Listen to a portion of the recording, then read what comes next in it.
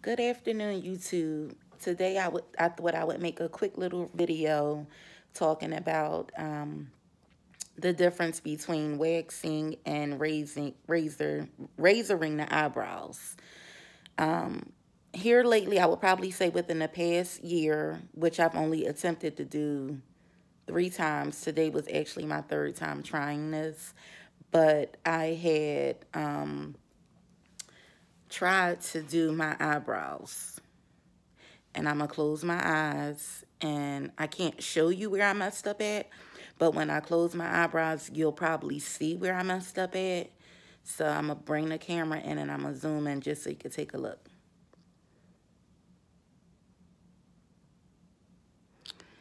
And basically, I feel like I went, I came too far in.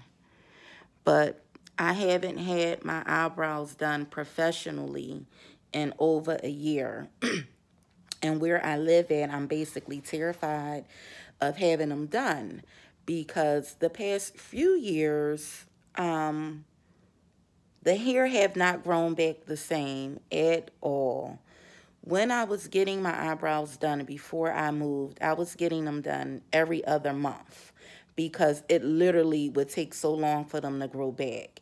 And honestly, when I was getting them done, I basically was just getting them cleaned up, just cleaning up the little, you know, rough edges, um, cleaning up any lines that look like they basically needed to be tamed. So it would give me like a nice sharp look. So I tried to do that today and what I wound up with was going too deep in the front there. So this really looks like exposed and now it looks a little bit irritated. So basically what I did was I, I used a razor. I went to Walgreens and I got a pack and it comes like three little razors. So I've done it three times. I've been using that to do my eyebrows and I would have to say each time it's really been an epic fail. Now, I rather fell on my eyebrows myself because I know how far not to, you know, I know how not to go too far that passing point versus when you having, you know, someone else do a service and you don't know whether if they know you well enough to find out what's too far for the passing point. I there's people with fatter, fuller faces. We definitely need um, more of a thicker brow than a skinny brow. When my brother did my brows years ago I was pregnant, I think I was like six or seven months pregnant, and they were so skinny, it didn't even look like me. I have this one picture. I wish I knew how to insert the clip of how it looked, but it really like changed the whole look of my face. Excuse the glare. I have the window open back there. I think I'm going to get up and I'm going to close it. But um, as I was saying, they were so skinny that my face, it didn't even look like me at all. So it's important that when you're having your eyebrows done and when you're getting them done, that you understand um, the shapes and everything that you're looking for. So that's number one. But I guess as of right now, the purpose of this video is, you know, I just wanted to show my attempt on the aftermath of me attempting to use a razor to clean them up.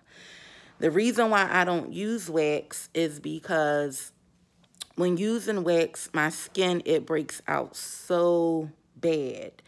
I mean, it's bumps like everywhere. It's kind of almost like breaking out in hives. So, um, that's not good because it takes like two, a week for it to really calm down. And then sometimes you can potentially get scars. There's been points where, you know, I've had um, my eyebrows done and the wax was so hot that it wound up, anytime you have it done, it's already taking off a layer of your skin. But I guess it took a second layer off because it, I was scarred. So I had a lot of bad experiences with actually having them done with the wax. And being as though I'm someone that's allergic to it, I really prefer to use, um, to have a razor being used on my brows. But I would really love to have them professionally done for my birthday. I don't I guess I'll probably have to go home home. And when I say home home, that's my original home before I moved. Um, I still drive through that area once a week um, because where I work is very close to there. So I'm still in that vicinity as far as like getting back and forth to work. I still travel up that way. But, you know, again, with the waxing, it's like a commitment. You know, it was a routine that I was used to doing because I would get my eyebrows done every other month faithfully, you know. But um, before that, I was getting it done a lot, you know, uh, consistent, more consistently because they would grow faster. It's just over the years, my eyebrows, the hairs have stopped growing. They don't come in the way that they used to. So I haven't been happy with them in a very long time.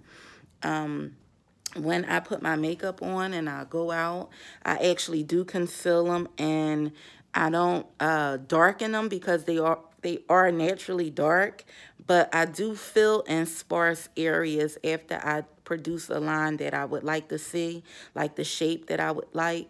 It's just that when I'm razoring them myself, I can never really achieve that. I don't know. I have a hard time with it. And a lot of it have to do with me being nervous and scared because your eyebrows is the first thing that people see that gives you your face profile in my opinion, and a lot of other people's opinions too. It gives you your feature, you know, your facial feature, your eyebrows is very important.